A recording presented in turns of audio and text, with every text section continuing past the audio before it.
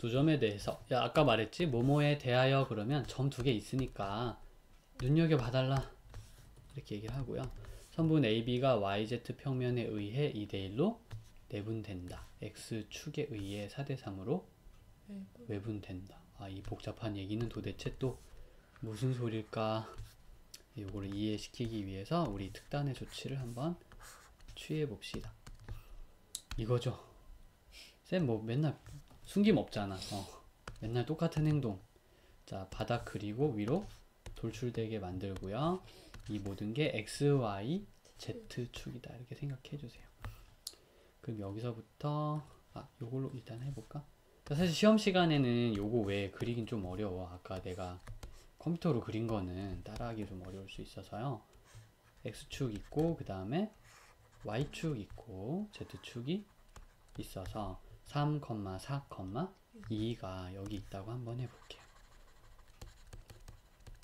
이 정도는 시험지에 그리기도 좀 괜찮을 거야.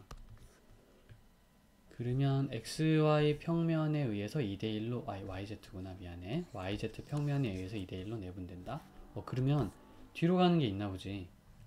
yz 평면에 의해서 내분되려면 x좌표가 마이너스여야 이제 이 벽 뒤로 가서 이렇게 툭 하고 잘리는 부분이 생겨날 수 있거든요 정확히 어딘지 모르겠지만 대충 여기로 갔다가 여기로 갔다가 이렇게 올라간 어, 사람이 좀 있어서 이르, 이렇게 오다 보면은 여기 YZ 평면 즉 이 초록색 벽을 뚫고 와야 되는 사람으로 이해를 해볼게요.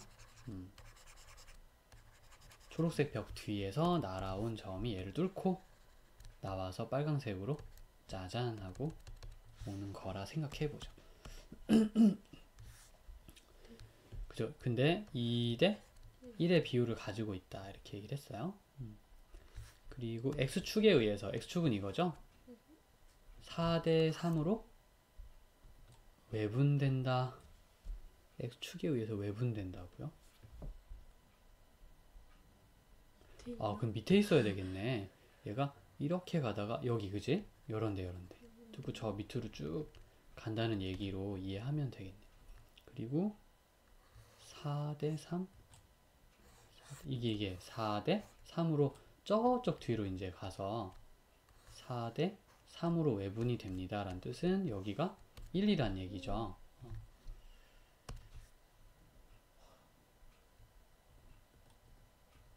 야 장난 아닌데 그래서 이제 여기서부터는 상상력을 원래 발휘해야 돼요. 근데 상상력이 안 되면 일단 그림 보면서 같이 얘기할게. 일단 여기여야 돼.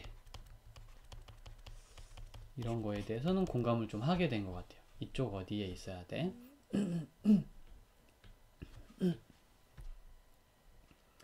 자, 그럼 한번 가볼게요. A와 B를 2대1로 내, 근데 YZ 평면이라는 거는, 어, 그 어떻게 생겼냐면, x가 0이죠. 네. x가 0. 그래서 여기 어떤 그 x가 0이라서 여기 좌표가 두 개 이렇게 있고요. yz 평면에 의해서 2대 1로 내분이 될 것입니다. 근데 여기 a 좌표가 누군지는 모르겠지만 3이랑 a랑 어쩌고저쩌고 하면 0 나와야 된다는 얘기죠. 어. 이게 다예요. 그래서 2대 1로 내분이 되는데 3과 a가 그런 거고요. 이게 0이 돼야 돼요. 그러니까 2a 플러스 3은 0이니까 a는 마이너스 2분의 3인 걸로 벌써 a 찾았다? 안 될 것 같지만 시키는 대로 잘 생각해 보면 뭔가 힌트들이 나와요. 음. x축에 의해서 4대 3으로 외분된다. 당연히 그럼 이제 x축이라는 것은 그 뭐라 그래? Y요. x축은 x축 y와 z가 모두 0이죠. 그죠? 어, 맞아요. x축은 y와 z가 모두 0인 존재. 그러면 뭐 좀 될 것 같지 않나? 방금 전처럼. 그런 느낌으로 바로 간. 4 빼기 3 하고요. 4 빼기 3 하고요. 그 다음에 4랑 b랑 이렇게 해주면 그건 0이 된다는 이야기. 은근 잘 된다. 그지? B는 3이다. 음. 그 다음으로 4, 어, 미안해. 4 빼기 3에 4 빼기 3에 C 2와 C 요것도 0이다. 4C는 6이니까 C는 2분의 3이다. 아, 다행히 다 구했어요. 자, 입체를 보고 완벽하게 이해가 안 갔다 할지라도 일단 그럼 눈을 감고 더듬더듬 찾아가는 어떤 거라고 봐도 돼요. 난 이 입체가 상상이 안 간다. 그러면 그래 복잡하면 마음을 좀 접자. 그 대신 이 사람의 말을 따라가세요. 어. 계산의 묘미가 이런 거야. 내 눈에 보이지 않지만 계산을 따라가다 보면 그 존재가 누구인지 결국 밝혀낼 수 있게 된다. 이게 수학의 묘미예요. 어. 그 내가 늘 얘기하잖아. 보이지 않는 세상을 탐구하기에 참 좋은 언어인 것 같다. 수학은 그런 얘기 하는 게 이럴 때 쓰는 거예요. 오히려 보는 게 더 마음이 번잡하고 복잡할 때가 있어요. 그럴 때는 조용히 귀를 기울여서 어, 계산이 하는 말에 한번 소리를 들어봅니다. ABC 다 구했으니까 덧셈은 따로 하지 않을게요. 이따가 요거 더해서 3 얘기해주고 더하기가 안 맞으면 어떻게? 답이랑 검산 한 번만 해줘. 어, 뭐 내분점 외분점인데 음. 편안한 마음으로 연습해 주세요.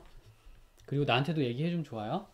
아, 한 번 해봤는데 잘 안 됐어요. 어, 그러면 두 번, 세 번 하지 말고 쌤한테